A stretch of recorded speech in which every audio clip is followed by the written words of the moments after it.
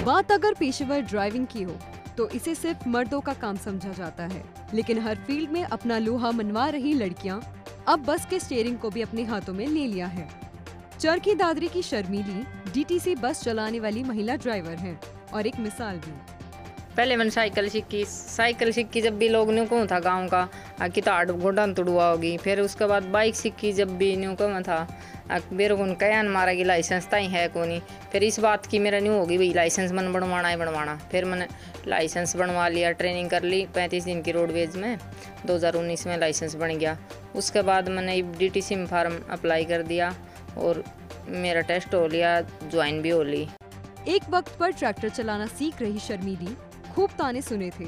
बावजूद इसके शर्मिला का संघर्ष रंग लाया और अब उनकी ज्वाइनिंग डीटीसी में बतौर चालक हुई है।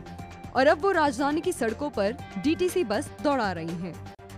मेरे बेटे ने पहली शादी के बाद इसने मोटर साइकिल चलवाई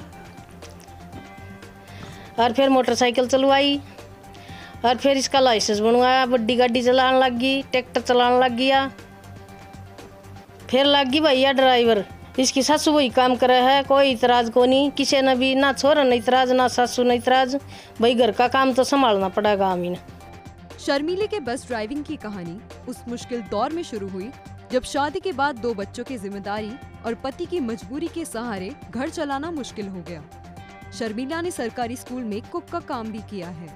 साथ ही 2019 के बैच में ड्राइविंग के लिए अपना परीक्षण पूरा करा। मेहनत रंग लाई और शर्मिला को दिल्ली में डीटीसी बस चलाने का मौका मिल गया। हौसले के आगे हार ही जाती है मजबूरियाँ। बस ना रहे इरादे और कोशिशों में दूर